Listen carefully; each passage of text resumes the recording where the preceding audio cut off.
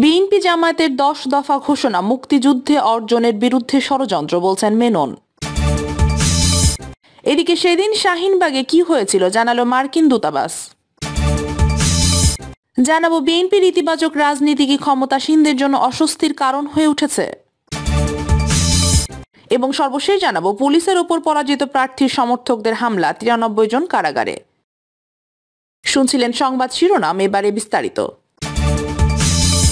BNP জামায়াতের দশ দফা ঘোষণা মুক্তিযুদ্ধে অর্জনের বিরুদ্ধে ষড়যন্ত্র বলছেন মেনন।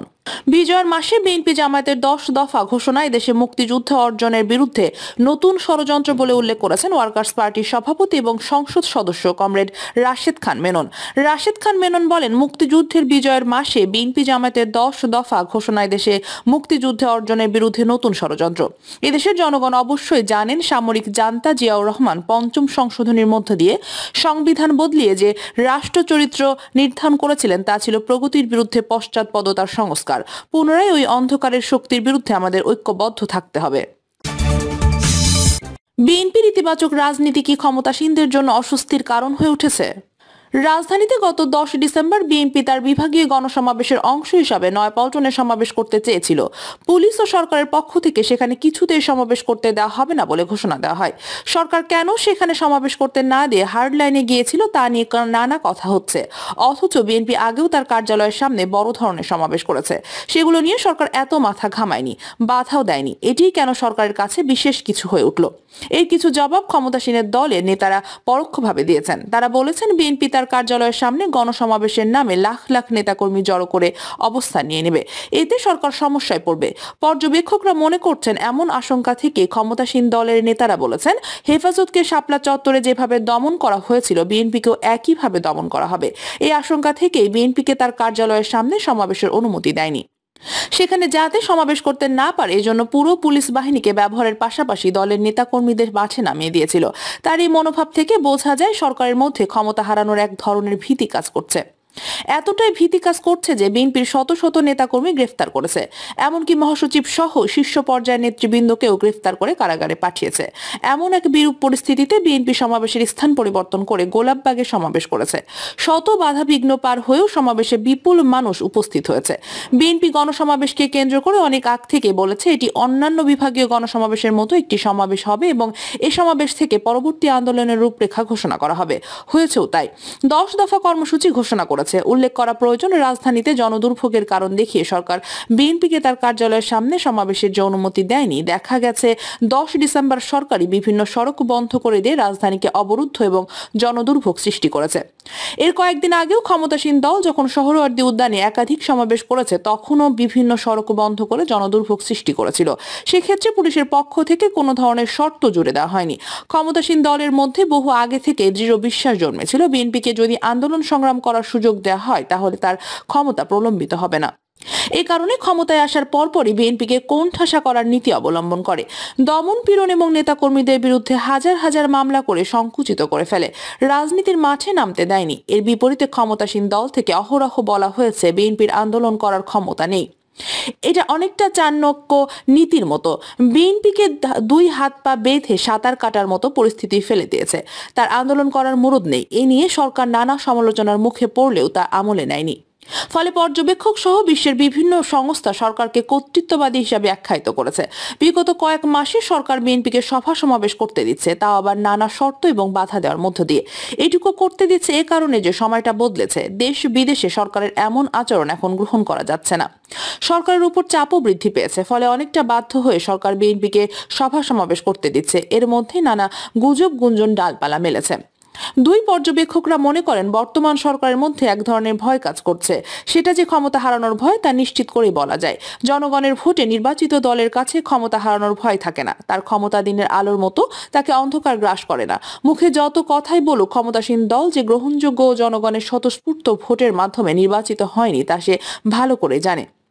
তার নৈতিক ভিত্তি দুর্বল। যদি এমন হতো, দুই হাজার তেরো সালের নির্বাচনে বিনা ভোটে একশো তেপ্পান্নটি আসনে নির্বাচিত না হতো কিংবা দুই হাজার আঠারো সালের রাতের নির্বাচনের মাধ্যমে ক্ষমতায় না আসতো, তাহলে এই নিয়ে তার উদ্বেগ উৎকণ্ঠার কিছু থাকতো না। কে ক্ষমতায় যেতে চায় বা ষড়যন্ত্র করছে, এ নিয়ে অনুমান নির্ভর ও অসার কথাবার্তার প্রয়োজন পড়তো না। এখন নির্বাচন যতই ঘনিয়ে আসছে, ক্ষমতাসীন দলের ভেতরে এক ধরনের নার্ভাসনেস যে কাজ করছে না, তা নিশ্চিত করে বলা যায় না। এই নার্ভাসনেসের দুটি দিক হচ্ছে, এক, সুষ্ঠু নির্বাচন হলে হেরে যাওয়ার ভয়, দুই, নার্ভাসনেস হলে কাটাতে সরকার বিরোধী আন্দোলনের বিরুদ্ধে অত্যন্ত কঠোর হয়ে ওঠা। তবে সরকারের আচরণ দেখে মনে হচ্ছে সে খুবই শক্ত অবস্থান গ্রহণ করেছে। যে কোনো উপায়ে বিরোধী রাজনীতিকে দমন করে যেন তেন ভাবে নির্বাচনী বৈতরণী পার হতে চায়। কারণ সরকার নিশ্চিত জানে যে সেভাবে প্রশাসন সাজিয়েছে, ক্ষমতায় থাকার জন্য তাই যথেষ্ট। অর্থাৎ মুখে মুখে জনগণের কথা বললেও নেপথ্যে পুরোপুরি প্রশাসন নির্ভর। এ কারণে এখন সংবিধান সংশোধন ও সংস্কার এবং জাতীয় সরকারের দাবি তোলা হচ্ছে।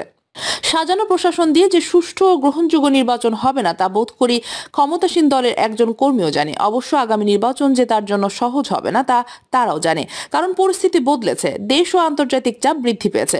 ফলে চাইলেই আর আগের দুই নির্বাচনের মতো নির্বাচন করা যাবে না। তিন বিএনপির পক্ষ থেকে এখন বারবারই বলা হচ্ছে আগামী নির্বাচন আর আগের মতো হতে দেওয়া হবে না। দলটি কেন এবং কিসের ভিত্তিতে কথা বলছে তাই স্পষ্ট নয়। একটি সরল হিসাব হতে পারে বিএনপি প্রবল আন্দোলন সংগ্রাম গড়ে তুলবে। তবে এটা কীভাবে সম্ভব তা এখনও পরিষ্কার নয়।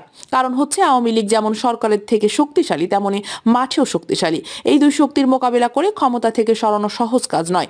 এখানে একটি উপায় হতে পারে যদি প্রশাসন তার নিরপেক্ষ অবস্থান বজায় রাখে। এই চিন্তা করা এখন অসম্ভব যে প্রশাসনকে সরকার দলীয়করণ করা থেকে শুরু করে সব ধরনের সুযোগ সুবিধা দিয়েছে। সে প্রশাসন কেন নিরপেক্ষ অবস্থানে যাবে কিংবা সরকারের খুঁটি হবে না? সরকারের জোটটি এখানে ফলে সরকারের পক্ষ থেকে বলা হয়, সংবিধান অনুযায়ী বর্তমান সরকারের অধীনে নির্বাচন হবে।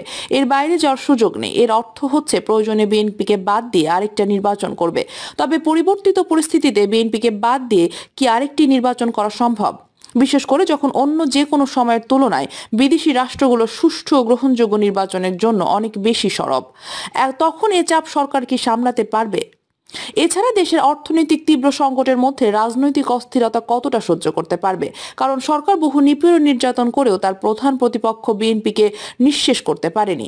দলটি ঘুরে দাঁড়িয়েছে। এমন পরিস্থিতিতে জনগণের মধ্যেও পরিবর্তনের একটি হাওয়া বইতে শুরু করেছে। সরকারের খুঁটির জোর যে ভারত, তার অবস্থানও আগের মতো আছে, এমনটি মনে করার কারণ নেই। পাঁচ জানুয়ারির মতো সরাসরি হস্তক্ষেপ করে আরেকটি নির্বাচন করিয়ে দেওয়ার মতো অপরিপক্ক কাজ দ্বিতীয়বার সে করবে বলে মনে হয় না। ইতোমধ্যে ভারত বলেছে, সে চায় আগামী নির্বাচন অবাধ, সুষ্ঠু, নিরপেক্ষ, অংশগ্রহণমূলক হোক।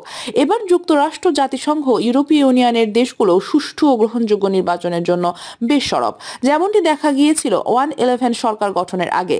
এ প্রেক্ষিতে যদি রাজনৈতিক সমঝোতামূলক পরিবেশ সৃষ্টি না হয় বা রাজনৈতিক দলগুলো তা করতে ব্যর্থ হয়, তবে দেশ নতুন করে বড় ধরনের সংকটে পড়বে তাতে সন্দেহ নেই।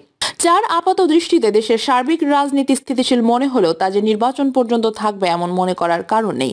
দেশের অর্থনৈতিক সংকট এবং নানা ইস্যুতে ক্ষমতাসীন দলের মধ্যে যে এক ধরনের অস্বস্তি, অস্থিরতা রয়েছে তা বুঝতে অসুবিধা হয় না।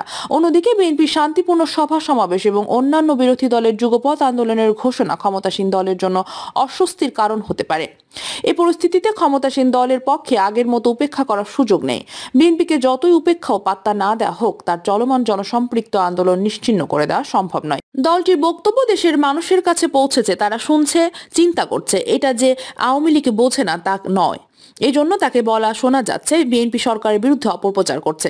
বলার অপেক্ষা রাখে না সরকারি দলের নানা উস্কানি সত্ত্বেও বিএনপি সহনশীল হয়ে শান্তিপূর্ণ সভা সমাবেশ করতে। এটাও ক্ষমতাসীন দলের জন্য অস্বস্তির বিষয় হয়ে উঠে দাঁড়িয়েছে। বিএনপিকে ইতিবাচক মনোভাব ক্ষমতাসীন দলের বিপরীতে এবং বিএনপির অনুকূলে যাচ্ছে। বিএনপিকে দিয়ে কিছু হবে না, হতাশ হওয়ার সাধারণ মানুষের এই মনোভাবের বিপরীতে দলটির অবস্থান ধীরে ধীরে সুসংহত হওয়ার প্রচ্ছন্ন একটা দৃশ্য স্পষ্ট হয়ে উঠেছে। ভেতরে ভেতরে দলটি নিজেকে আন্দোলনের জন্য তৈরি করেছে। এর বিপরীতে ক্ষমতাসীন দল দীর্ঘদিন ধরে প্রশাসন নির্ভর হয়ে রয়েছে। ক্ষমতার বাইরে তারা রাজনৈতিক শক্তি কতটা অটুট তা বলা মুশকিল। নির্দলীয় সরকারের অধীনে নির্বাচন হলে তার প্রকৃতি শক্তি ও সক্ষমতা বোঝা যাবে। পর্যবেক্ষকদের অনেকে বলছেন, ক্ষমতা থেকে চলে গেলে দলটির রাজনৈতিক শক্তি দুর্বলতা প্রকাশ পাবে। এখন ক্ষমতায় থাকায় তা টের পাওয়া যাচ্ছে না। ক্ষমতায় মোহগ্রস্ত হয়ে প্রতিপক্ষকে আমলে নিচ্ছে না, তুড়ি মেরে উড়িয়ে দিচ্ছে। রাজনৈতিক বৈরিতা বৃদ্ধি করে চলেছে। নির্বাচন যত ঘনিয়ে আসবে, এ বৈরিতা ও সংখ্যা যে বৃদ্ধি পাবে, তাতে সন্দেহ নেই। সেদিন শাহিনবাগে কি হয়েছিল জানালো মার্কিন দূতাবাস। মার্কিন রাষ্ট্রদূত পিটার ডি হাস গত চোদ্দ ডিসেম্বর রাজধানীর শাহিনবাগের একটি বাসায় যাওয়া ও সেখান থেকে দ্রুত চলে যাওয়া আসার বিষয়ে তথ্য দিয়েছে ওই দেশের দূতাবাস। রবিবার আঠারো ডিসেম্বর দূতাবাসের মুখপাত্র সাংবাদিকদের কাছে পাঠানো এক ইমেলে জানান, মায়ের ডাকে সংগঠনের সঙ্গে আগে থেকে ঠিক করা চোদ্দ ডিসেম্বরের বৈঠক নিরাপত্তাজনিত কারণে আগে শেষ হয়েছে। কিছু বিক্ষোভকারী রাষ্ট্রদূত যে বিল্ডিংয়ে অবস্থান করেছিল সেখানে প্রবেশের চেষ্টা করার কারণে বৈঠকটিতে বিঘ্ন ঘটে। অন্যরা রাষ্ট্রদূতের গাড়ি ঘেরাও করে রেখেছিল।